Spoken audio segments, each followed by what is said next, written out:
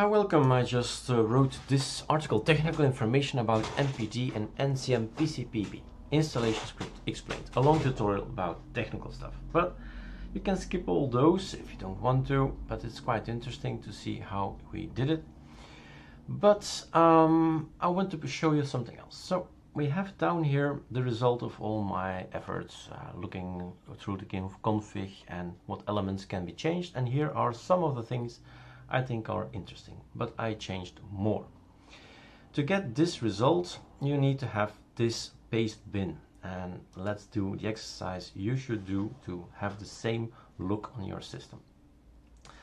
So you have here code and all these code needs to go into your uh, system.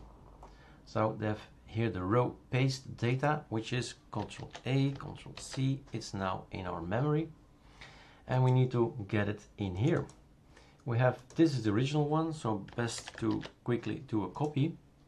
And you say let's open this config file control A delete control V. That's lost again oh, it always happens. And then back in here control C. And back in here control A delete control V. Save. So this is our standard look. And if we quit this thing quit and we start it again, then this will be our look.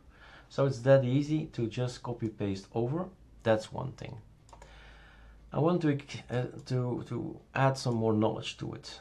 You must, must, you can take a look at what I did. So you can do a comparison. Compare what I changed. So if you don't like this visualizer look, I found this nice little rocket that seems like flying through the air and a flash from the awesome font. You say, okay, I don't want that, Erik. I really don't want it. So I'm gonna take that back.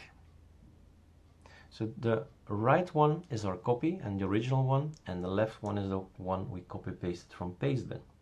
So anything you don't like, so you can do it by one by one, line one by one, stop the program and see what happens.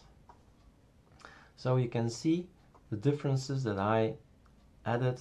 Here it's the yellow uh, background. If you select something, here's the red one. And so on.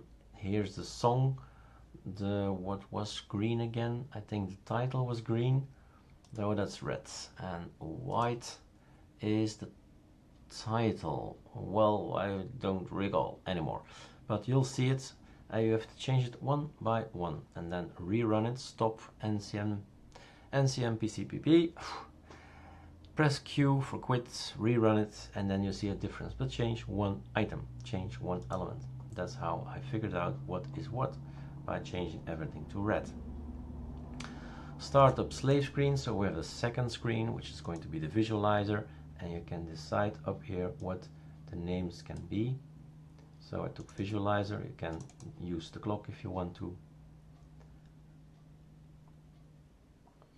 We have this not available volume message, so I got rid by doing this here, display volume level no, everything works, all my buttons work on my keyboard, so everything is fine, just we don't want to see that. And a lot of colors. At the very bottom, everything that is empty, cyan is going to be red, everything that's default, whatever color that is is going to be red, yellow, and so on and so on. So you can just go ahead and check out what you want to keep or don't want to keep. So by using these arrows, you can change it and copy paste it over. So um, that's the message. Have fun in changing all these colors. Do it one by one. For instance, if you have all red, now you can go to green, for instance, and see what happens, what element is uh, which line is what element. All right, have fun.